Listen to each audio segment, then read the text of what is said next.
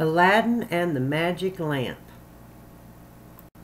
Once upon a time in Arabia, there lived a poor widow who had a son named Aladdin. One day they met a mysterious stranger who offered to pay Aladdin a silver coin in return for doing a simple task. The stranger, a sorcerer, led Aladdin to a cave. The opening of the cave is too small for me to enter, said the stranger. There is an old lamp inside the cave. Go in and bring it to me.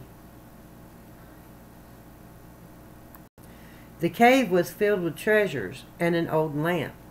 The sorcerer thundered, Give me the lamp!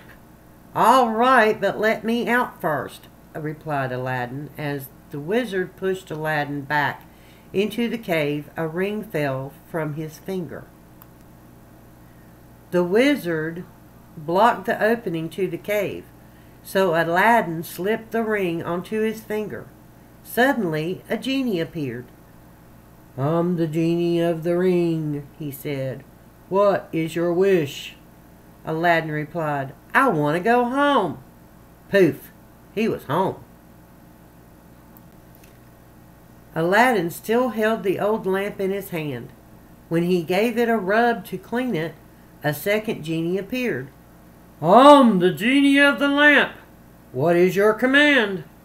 Aladdin smiled shyly. Food, please. Poof, it was done.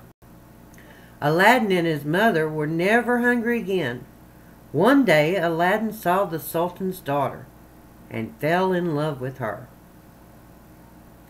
Aladdin's mother gave the Sultan a box of jewels to convince him to let his daughter marry her son. The Sultan asked Aladdin to prove his worth by giving him forty stallions bearing forty boxes of jewels. Aladdin asked the genie to help them. The genie smiled and instantly fulfilled Aladdin's request. Poof! The jewels and horses appeared. So Halima, the Sultan's daughter, and Aladdin got married. They were in love and lived happily. But one day the wizard came to the palace disguised as a peddler.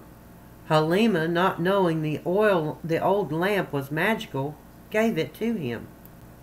Immediately the sorcerer summoned the genie and ordered him to carry the princess and the palace to a far-off land. Now you will be my wife, shouted the sorcerer with a cruel laugh.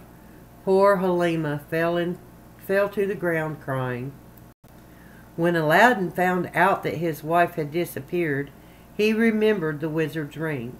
He put it on his finger and the genie appeared. Great genie, take me to my wife at once. Poof, Aladdin was back at the palace. The powers of the genie of the lamp were much greater than those of the genie of the ring. So Aladdin had to wait for the wizard to fall asleep before taking the lamp from him. With Halima's help, he succeeded.